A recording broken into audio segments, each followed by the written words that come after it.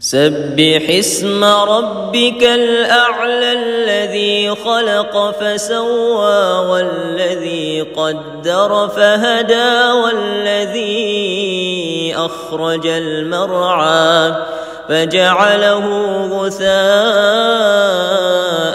أحوى سنقرئك فلا تنسى إلا ما شاء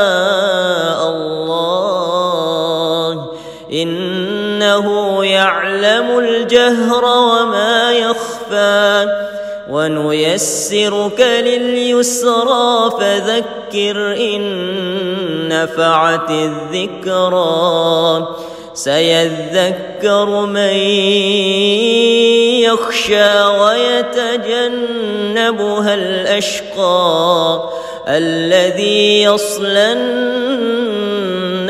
النار الكبرى ثم لا يموت فيها ولا يحيا. قد أفلح من تزكى وذكر اسم ربه فصلى. بل تؤثرون الحياة الدنيا والآخرة خير